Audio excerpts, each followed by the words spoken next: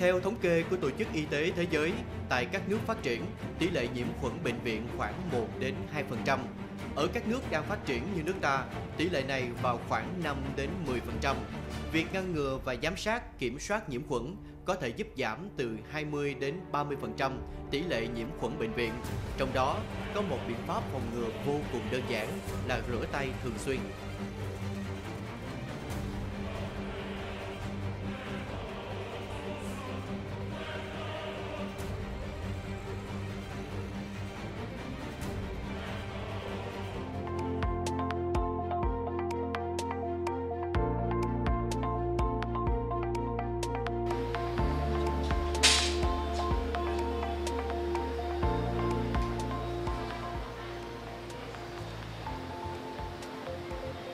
Dạ, chào bác.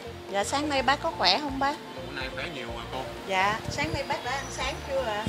Ăn hết tô cháo rồi đó Dạ. Mình chuẩn bị uống thuốc hôm nay là tới giờ phát thuốc gửi sáng cho bác. Dạ bác tên gì ạ?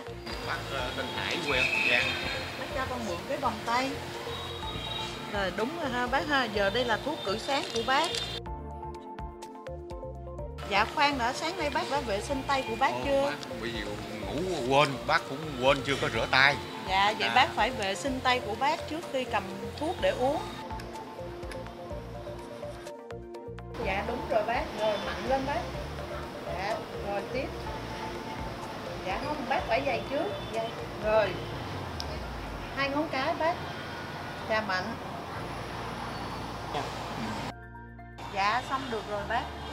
Ngoài ra trong những trường hợp sau bác cũng cần phải ờ, vệ sinh tay của bác giống như trước khi bác ờ, ăn và sau khi bác đi vệ sinh xong vậy bác có nhớ những gì con hướng dẫn cho bác không ạ?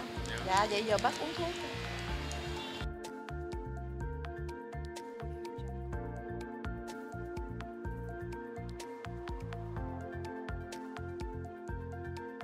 Cảm ơn cô. Dạ chào bác. Dạ bác nghỉ ạ.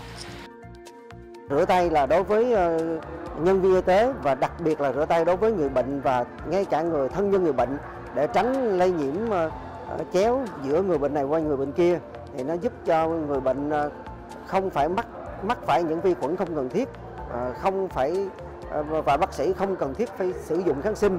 Do đó là giảm chi phí điều trị là đương nhiên rồi nhưng mà đặc biệt quan trọng là nó giảm cái tỷ lệ kháng kháng sinh.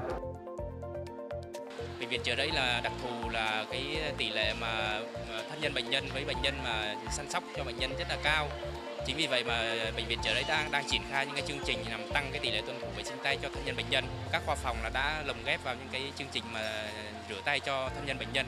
Thì hy vọng là cái tỷ lệ mà người thân bệnh nhân Ờ, tham gia vào cái vệ sinh tay nó sẽ cao hơn và nó giảm cái tỷ lệ nhiễm khuẩn bệnh viện.